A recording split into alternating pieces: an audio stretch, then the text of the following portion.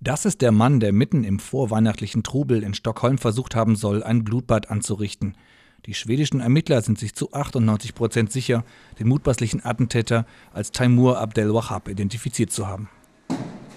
Äh, Eine kurze Beschreibung von ihm ist, dass er 1981 geboren wurde und ursprünglich aus dem Nahen Osten kommt. Doch wir wissen noch nicht mit Sicherheit, aus welchem Land er stammt. 1992 wurde er schwedischer Staatsbürger.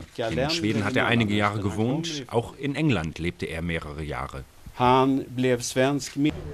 In Luton in der Nähe von London begeben sich auch britische Ermittler auf die Spur von Abdel Wahab. In diesem Haus soll er mit seiner Familie gewohnt haben. Und an dieser Universität studierte er. Die Nachricht über das Selbstmordattentat schockiert die Studenten. Ich kann nicht glauben, dass Leute so etwas tun.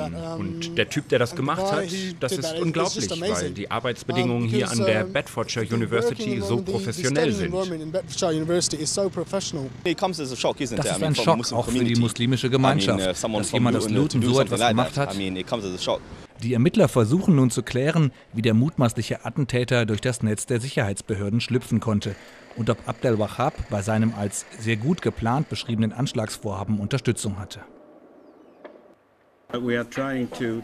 Wir versuchen jetzt seine Kommunikation nachzuzeichnen, uh, seine Freunde, seine Kontakte, alles.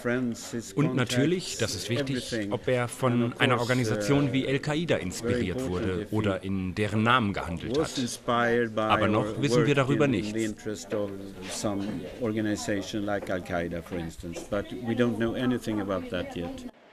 Unterstützt werden sollen die Ermittler in Stockholm nun auch von Spezialisten des FBI. Die US-Bundespolizei will sieben Sprengstoffexperten in die schwedische Hauptstadt schicken.